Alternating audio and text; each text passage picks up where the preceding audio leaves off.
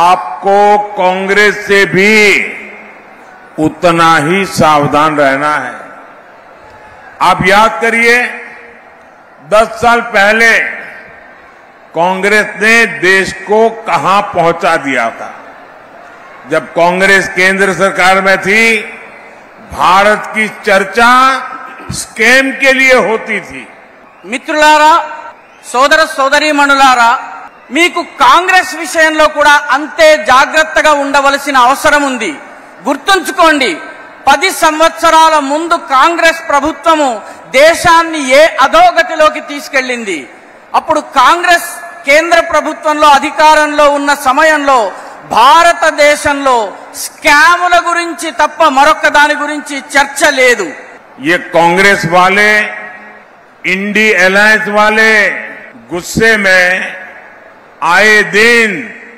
ED ED चिल्लाते रहते हैं। आप जानते हैं, ऐसा ये क्यों करते हैं? इसका जवाब आज पूरा देश टीवी पर देख रहा है। झारखंड में ईडी ने नोटों के पहाड़ खोदकर निकाले हैं। कांग्रेस के मंत्री के, निजी सचिव के, नौकर के पास से ये नोटों का पहाड़ निकला है। सोचिए, कांग्रेस वालों ने अपने नौकर के घर को काली कमाई का गोदाम बना रखा था। ये पहला मौका नहीं है।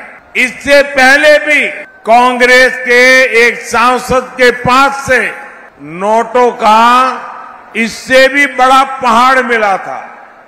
इतने नोट है कि मशीनें भी गिनते गिनते थक जाती हैं। साथियों, आज मैं देश के सामने एक और संयोग की बात करूँगा।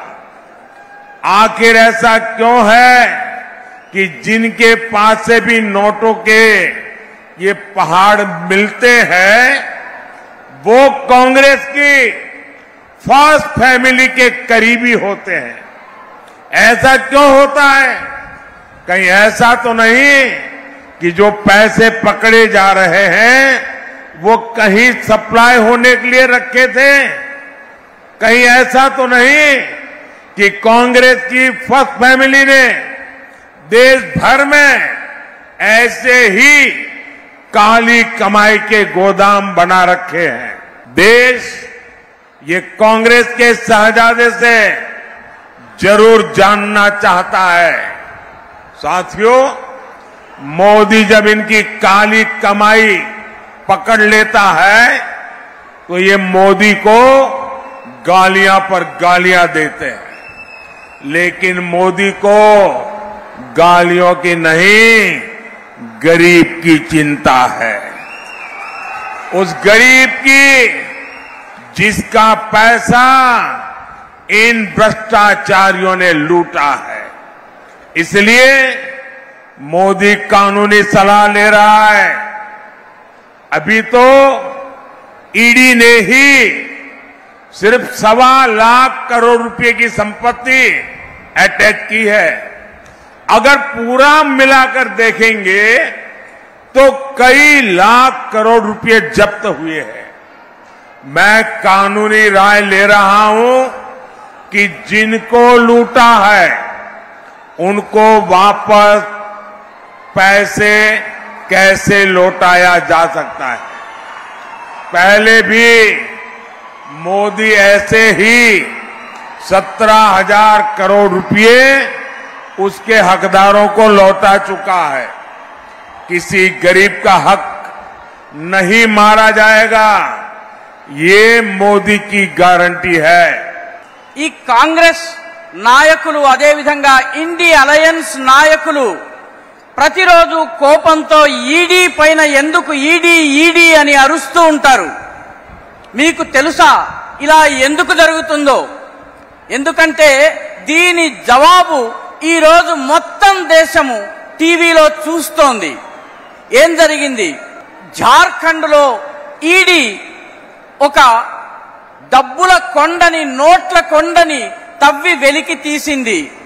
కాంగ్రెస్ యొక్క మంత్రి యొక్క సెక్రటరీ గారి ఇంట్లో పనిచేసే నౌకరి ఇంట్లో కొన్- డబ్బుల కొండ లభించింది. ఒక్కసారి ఆలోచించండి. కాంగ్రెస్ వాళ్ళు తమ ఇంట్లో కూడాను తమ నల్లధనపు ఆదాయాన్ని దాచిపెట్టే గోదాములు తయారు చేస్తున్నారు. ఇలా జరగడం మొదటిసారి కాదు. ఇంతకు ముందు కూడా కాంగ్రెస్కి సంబంధించిన ఒక ఎంపీ దగ్గర ఇదే రకంగా డబ్బులకు సంబంధించిన పెద్ద కొండ లభించింది. కొండంత కరెన్సీ లభించింది. ఎంత డబ్బు లభించిందంటే నోట్ల మెషిన్తో లెక్కించి లెక్కించినా కూడాను ఆ నోట్ల మెషిన్లు పనిచేయనటువంటి పరిస్థితి అవి అలిసిపోయినటువంటి పరిస్థితి. మిత్రులారా ఈరోజు దేశం ముందు మరొక్క విషయాన్ని నేను ఉంచదలుచుకున్నాను. ఎందుకు? కేవలం కాంగ్రెస్ పార్టీ వాళ్ళకు చెందిన వాళ్ళ ఇంట్లోనే ఈ నోట్ల కొండలు ఈ కట్ల పాములు లభిస్తున్నాయి. ఎందుకు? వీళ్ళందరి దగ్గర ఈ రకమైనటువంటి ధనం లభిస్తోంది. వీళ్ళందరికీ కాంగ్రెస్ యొక్క ఫస్ట్ ఫ్యామిలీ అంటే కాంగ్రెస్లో ఉన్నటువంటి నెంబర్ వన్ ఫ్యామిలీ ఏదైతే ఉందో వాళ్ళకు వీళ్ళందరూ సన్నిహితులు ఎందుకు అవుతారు?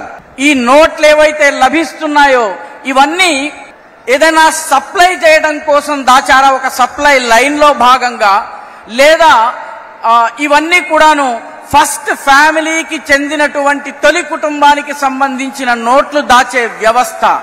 కాబట్టి ఆలోచించవలసిన విషయం ఏంటంటే కాంగ్రెస్ యొక్క రాకుమారుడు ఎవరైతే ఉన్నారో ఆయన దగ్గర నుంచి ఈ జాతి జవాబును ఆశిస్తోంది.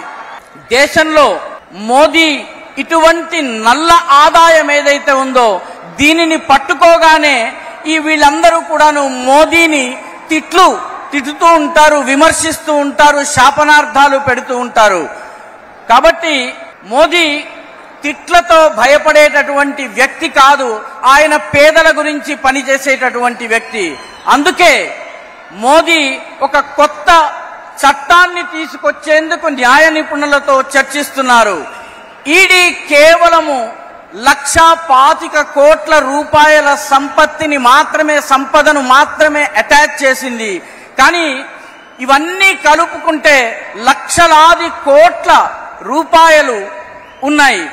కాబట్టి న్యాయ నిపుణుల సలహా తీసుకుని తద్వారా ఎవరైతే దోచుకున్నారో వారి దగ్గర నుంచి డబ్బులు ఎలా తిరిగి తీసుకుని రావాలి అన్నది నేను ఆలోచన చేస్తున్నాను. గతంలో కూడా తీసుకొచ్చిన తరువాత పేదలకు ఎలా ఇవ్వవచ్చును? గతంలో కూడా మోదీ పదిహేడు వేల కోట్ల రూపాయలను తా హక్కుదారు నిజమైన హక్కుదారులకు పంపించారు. గరీబ్ పేదలకు చెందినటువంటి వాళ్ళ హక్కు ఏదైతే ఉందో దాన్ని ఎవరూ లాక్కోవడానికి వీల్లేదు. ఇది నరేంద్ర మోదీ యొక్క గ్యారంటీ.